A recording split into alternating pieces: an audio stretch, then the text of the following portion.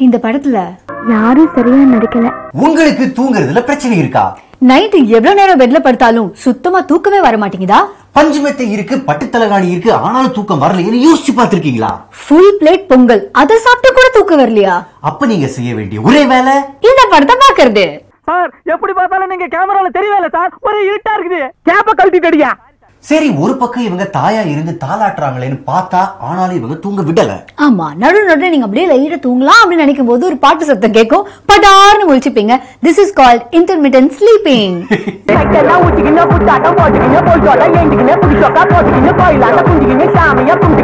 ஆனா அந்த பாட்டுலாம் கேட்டோன்னா வந்து அடுத்த ரெண்டு நாளைக்கு தூக்கம் வராத அளவுக்கு கொடுமையா இருந்துச்சு படி.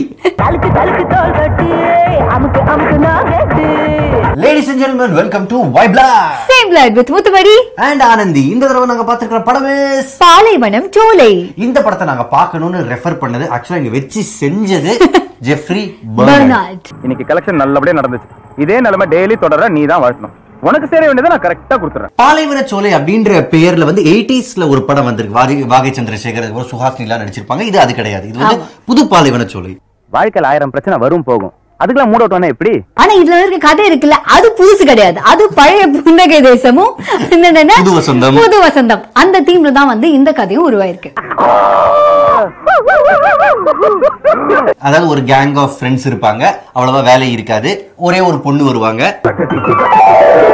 அப்படி இவங்க லைஃபே மாறிடும். ஆனா அந்த பொண்ணுக்கு ஏதாவது ஒரு ஆபத்து இருக்கும் இல்ல ஒரு கஷ்டம் இருக்கும் அதை நினைச்சு இவங்க அஞ்சு பேர் ஃபீல் பண்றதும் இதுதான் இந்த படத்தோட கதையும் கூட.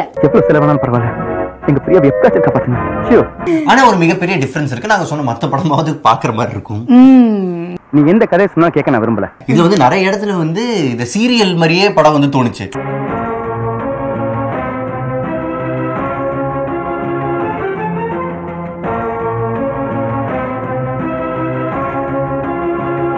வந்து இதுல சஞ்சீவ்லாம் இருக்காரு. சோ ஒரு சீரியல் பண்ணதுக்கு அப்புறம் அடுத்தது வந்து படம் பண்ண அவர் ஆசைப்பட்டிருக்காரு. ஆனா டேரக்டர் இதுக்கு முன்னாடி சீரியல் பண்ணது இல்ல அப்படிங்கறத படத்தையே சீரியலா எடுத்திருக்காரு. யார் என்ன சொன்னாலும் அதை பத்தி எனக்கு கவலை இல்ல. எல்லாரும் நல்லா இருக்கணும்னு நினைக்கிற உன் நல்ல மனசுக்கு கண்டிப்பா காயத்ரி எங்க போனாலும் நல்லதா இருப்பான் சீக்கிரம் ரெடி பண்ணி கூட்டு வந்து. ஒரு கிளைமேக்ஸ்ல இந்த சீன் வந்து இந்த ஹீரோயின் வந்து.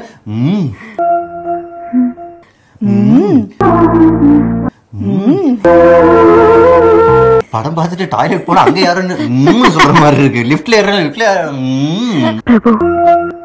அண்ட் படத்துல வந்து ஒரு ஒரு உன்னதமான ஃப்ரெண்ட்ஸ் கேங் இருக்கு. அந்த ஃப்ரெண்ட்ஸ் வந்து ஒவ்வொருத்தரும் யாரு அவங்களுக்கு என்ன கேரக்டரிஸ்டிக்னு நம்ம வந்து பார்த்துலாம் சோ படத்துல வந்து மெயின் ஹீரோ நிதின் சத்யா. அப்படியே சென்னை டுவெண்ட்டி எயிட் முடிச்சு அதே டைம் பீரியட்ல வந்து இந்த படமும் நடிச்சிருக்காரு. எப்படி அதையும் இதையும் சூஸ் பண்ணார் அப்படிங்கிறது தெரியல பட் ஸ்டில் நான் நேர்மையா நியாயமா உழைச்சி சம்பாதிக்கிறவன். தர்மத்துக்கு ஆட்டோ ஓட்டல. ஏன் மத்த வயத்துல அடிக்கிற? அந்த கேங்ல இருக்கிற இன்னொருவர் வந்து சஞ்சீவ். அவர் வந்து ஒரு நேர்மையான முறுக்கு சீட வியாபாரியா வராரு. உங்க கம்பெனி சீட முறுக்கெல்லாம் கேட்டு எத்தனை பேர் வந்துட்டு போயிட்டாங்க தெரியுமா? என்னென்ன பண்ண சொல்றீங்க? நாளைக்கு நியூ இயர்ல நிறைய ஆர்டர் இருந்துச்சு. சோ இவருக்கு ஒரு தங்கச்சி இருக்காங்க. அதுதான் இந்த படத்துல முக்கியமான எலிமெண்ட் ஏன்னா அவங்களுக்கு கல்யாணம் பண்ணி வைக்கணும் அப்படிங்கறது அவருடைய பெரிய டாஸ்கா இருக்கு இந்த படத்துல. என் தங்கச்சியை கட்டிக்க போறவன் உண்மையிலே ரொம்ப கொடுத்து வச்சிருவேன். அண்ட் ஃப்ரெண்ட்ஸ் கேங்ல ஒருத்தர் வந்து பணக்காரனா இருக்காரு. அவர் வந்து அபினவ் ஐ திங்க் நம்ம துளுவதோ இளமையில வந்து ஒரு ஹீரோவா நடிச்சிருப்பாரு செகண்ட் ஹீரோவா நடிச்சிருப்பாரு. ஆமா. பணம் பணம் பணம். பணத்தை தவிர வேற எதுவும் தெரியாது உங்களுக்கு? இவர் என்ன வைக்கலாம்? பார்க்க பணக்கார பையன் மாதிரி இருக்காரு அப்படின்னு இந்த படத்துல அமெரிக்கா மாப்பிள்ளை ஸ்கோப்பும் கிடையாது. கரெக்ட் யாருக்கு மாப்பிள்ளையா இருக்க முடியும்? அதனால வந்து இவர் வந்து ஒரு பணக்கார அப்பாவுடைய பையன். இந்த பைக் வாங்குனது கூட என் பணத்துல தான்டா. இந்த பைக் மேல வச்சிருக்க அக்கறைய ஒரு நாளாவது பையன் மேல வச்சிருக்கீங்களா? இல்ல அவங்க அப்பா கேரக்டர் ரொம்ப பிடிக்கும்படி அந்த ப்ரொடியூசர் ராஜன் யூடியூப்ல வந்து நிறைய எல்லாருமே வந்து திட்டிக்கிட்டே இருப்பார்ல இதுலயும் அவர் வராரு பையனை மட்டும் திட்டிக்கிட்டே இருக்காரு. என்னைக்கு நான் சொல்றத நீ கேக்குறியோ அன்னைக்கு என்கிட்ட வா. உனக்கு வேண்டிய எல்லாத்தையும் செய்யறேன் அடுத்த ஒரு முக்கியமான கேரக்டர் வந்து சாம்ஸ் பண்ணிருக்காரு. சோ அந்த சார் வந்து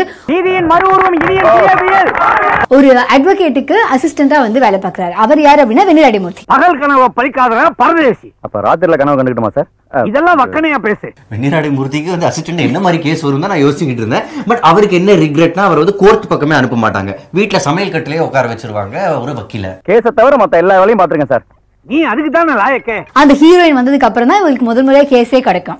இந்த கேஸ முதல் கேஸா எடுத்து நடத்தலாம் அடுத்ததா சத்யன் சார் நடிச்சிருக்காரு. அவர் வந்து இந்த படத்துல ஒரு பட்டிங் ஆக்டரா வந்து பெர்ஃபார்ம் பண்ணிருக்காரு டேய் ஆதி நீ பெரிய நடிகனாக போடுறான் சத்யன் ஒரு ஸ்ட்ரகிளிங் ஆக்டர் படி கிங் காங் படத்துல வந்து கிங் காங்க்கு டூப் போடணும்னு சொல்லிட்டு அவர் கூப்பிட்டுருவாங்க நடிக்க. அதுல மூஞ்சில வந்து கிரீன் மேட்டை போட்டுருவாங்க. ஒரு மாஸ்க் கொடுத்து இதுல நடின்றுவாங்க These five people have so many problems in their lives, my lord. இந்த ஐந்து நபரும் வாழ்க்கையில் கொடூர கஷ்டத்தில் உள்ளனர் கடவுளே How do they escape from this? இந்த கஷ்டத்தில் அவர்கள் எப்படி விடுபடுவார்கள் Everything comes with a solution which my lord gives. எல்லாத்துக்கும் பதில் இருக்கிறது கடவுளே And what is that solution? அந்த தீர்வு Five problems, one solution. ஐந்து கஷ்டங்கள் ஒரே ஒரு தீர்வு Heroine. நடிகை நம்ம அஞ்சு பேருக்கு அஞ்சு விதமா வந்தா நல்லா இருக்கும்ல? சாகணுன்றதுக்காக சென்னை வந்த ஹீரோயின் இதுக்காக தான் வந்திருக்காங்கன்னு இவங்க அஞ்சு பேருக்கும் தெரியாதுன்றதுனால அவங்கள வந்து உஷார் பண்ண ட்ரை பண்றாங்க. என்னடா தேவடு காக்குறீங்க? டேய் தேவடு காக்கலடா. அந்த தேவதைக்காக காத்துட்டு இருக்கேன் ஆமா ஆனா இவங்க யாருக்குமே உஷாராக மாட்டாங்க. ஏன்னா அவங்களுக்கு தெரியும் அவங்க சாக போறாங்க பட் இன்ஸ்டெட் இவங்க எல்லாரோட வாழ்க்கையிலயும் அடுத்த லெவலுக்கு கொண்டு போகணும் அப்படிங்கிறதுக்காக பயங்கரமா ஒர்க் பண்றாங்க. நம்ம ஹீரோயின் உன் மேல பாசம் காட்ட உன் ஃப்ரெண்ட்ஸ் இருக்காங்க. நான் இருக்கேன். அப்புறம் ஏன் கவலைப்படுற? ஆனா ஒருத்தருக்கு மட்டும் இந்த உண்மை தெரிஞ்சிரும்படி. சஞ்சீவ். ஏன்னா அவர் தான் ஒரு எக்ஸ்பீரியன்ஸ்ட் ஆக்டர்ல அவருக்கு வந்து தெரியும். அந்த மாதிரி ஆக்டிங் போக்கு போற நாள் அது இதெல்லாம் பேசிட்டு இருந்தீங்களே? அதாவது சீரியல்ல என்ன நடக்கும்? அதாவது ஒருத்தவங்க வந்து பிஸி ஆயிட்டாங்கன்னா அவங்க வந்து சாவடிக்கிறதுக்காக ஒரு பிளான் போடுவாங்க. அவர் இதெல்லாம் வந்து கரைச்சு குடிச்சவர்ன்றதால அந்த சீன்ல ரொம்ப தத்ரூபமா நடிச்சிருக்காரு. இதை நீ யார்கிட்டயும் சொல்ல வேண்டாம். சத்தியம் பண்ணு. நிதின் சத்யாவுக்கு இவங்க மேல இருக்கு இவங்களுக்கும் நிதின் சத்யா மேல கிட்டத்தட்ட அந்த மாதிரி தான் ஒரு அஃபெக்ஷன் இருக்கு. பட் அவங்க ஒண்ணு சேர மாட்டாங்க. ஏன்னா அப்பதான் கதையில ட்விஸ்ட் இருக்கும். எனக்கு ரொம்ப பிடிச்சிருக்கு. எனக்கும் ரொம்ப பிடிச்சிருக்கு. சஞ்சீவோட தங்கச்சிக்கு கல்யாணம். அந்த கல்யாணம் வந்து பொண்ணு பார்த்து போன உடனே வந்து இவங்கெல்லாம் வந்து தங்கச்சிக்கு கல்யாணம்னு சொல்லிட்டு ஒரு பாட்டு பாடுறாங்க.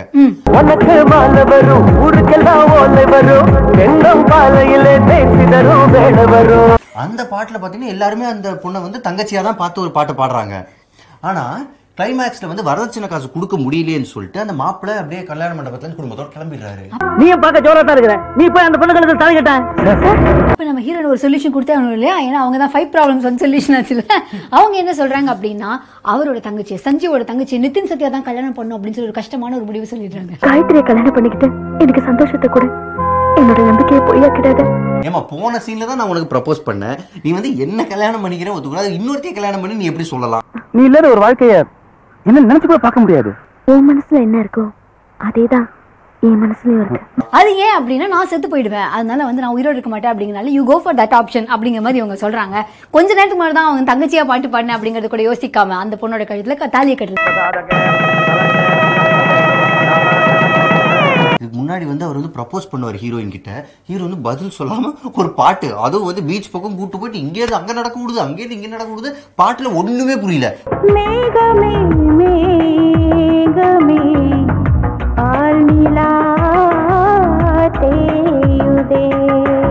என்னதான் ஹீரோயின் வந்து சாகணும்னு சென்னை வந்தாலும் அவங்க வந்து தனியா போறது இல்ல நம்மளையும் கூட சேர்த்து கூட்டு போவாங்க. ஆமா கொண்டுட்டு தான் போவாங்க. எப்படி கொலை பண்ணுவாங்க அப்படின்னா அஞ்சு பெர்ஃபார்மன்சஸ் நமக்காக காத்திருக்கும் இந்த படத்துல. அதுக்கு முன்னாடி இவங்க வந்து ஐப்ரோஸ் தூக்கி தூக்கி இவங்க ஒரு பெர்ஃபார்மன்ஸ் பண்ணுவாங்க. இதெல்லாம் மொத்தம் முடிச்சுட்டு தான் சாவாங்க. நாலு பேர் நல்லா இருக்கும்னா எது பண்ணாலும் தப்பு இல்ல. தேண்டா தேண்டா சைடு சனக்கிக்கிறா காலையில சீக்கிரம் சான் சந்தேகம் லேட் ஆன் சந்தேகம் பல்ல விளக்குன சந்தேகம் டிஃபன் சாப்பிட்ட சந்தேகம் இப்படி சந்தேகம் பண்ற பொட்டாட்டியோட சந்தேகங்களை வாழ முடியும். உங்களால அப்புறம் சந்தேகங்களை சொல்ல முடியும்? லாஸ்ட்ல நிதின் சத்யாவை வந்து அந்த ஒரு மச் அந்த பொண்ணு கல்யாணம் ஆக போகுதுன்றதுனால ஒரு பாட்டு பாட சொல்லியிருப்பாங்க. அதை திரும்பி பாட சொல்லுவோம். இப்ப தங்கச்சியா பாடின பொண்ணு அவன் பொண்டாட்டி. இப்ப அதே பாட்டு பாட சொன்னா அவருக்கு சங்கோச்சமா இருக்குமா இருக்காது? அதெல்லாம் திரும்பிட்டு பாடுறாரு அவரு.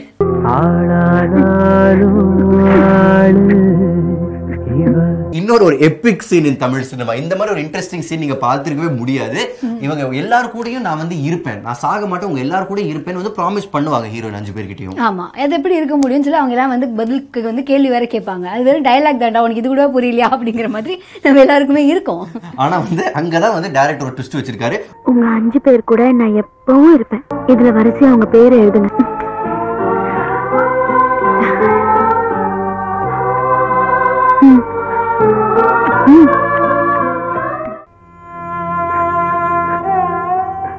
பேர் கூட நான் இருக்கேன்ல. எல்லாம் சேர்த்தா என் பேர் வந்துருது. அந்த ஒய் வரணுங்கிறதுக்காகவே இதுல ஒருத்தரோட கேரக்டரோட பேர் யுவன்னு வச்சிருக்காங்க. மறக்கவே முடியாது. அந்த நாளை அந்த நடிப்பை. மைம் பர்ஃபார்மன்ஸ் அதுக்கப்புறம் வந்து சத்யனோட ஆக்டிங் இதெல்லாம் வந்து பார்த்துட்டு ஹீரோயின் வந்து அங்கேயே பொட்டுன்னு போயிருது. ஆனா அதுக்கப்புறமும் நிதின் சத்யா ஒரு ஒரு ஒரு உணர்ச்சி பண்ணாரு. மடி அவர் தம் இல்லைன்னு அழுத மாதிரி இருந்துச்சு மடி தீக்குச்சி இருக்கு தம் இல்லையே அப்படின்னு.